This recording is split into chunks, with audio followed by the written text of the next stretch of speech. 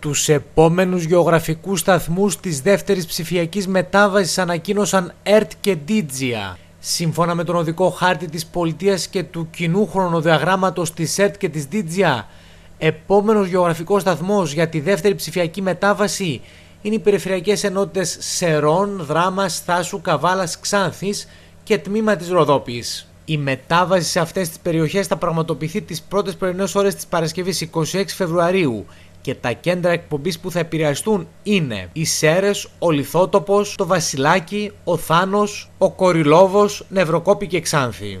Από 26 Φεβρουαρίου επανασυντόνισε το δέκτη σου σε δράμα, Θάσο, Καβάλα, Ξάνθη, Σέρες και τμήμα του νομού Ροδόπης. Πάρε το τηλεκοντρόλ, πάτησε μενού, επίλεξε εγκατάσταση ή ρυθμίσεις και αυτόματο συντονισμό. Τόσο εύκολα, τόσο απλά και χωρίς αλλαγή εξοπλισμού. Digia, ένας υπέροχος ψηφιακός κόσμος.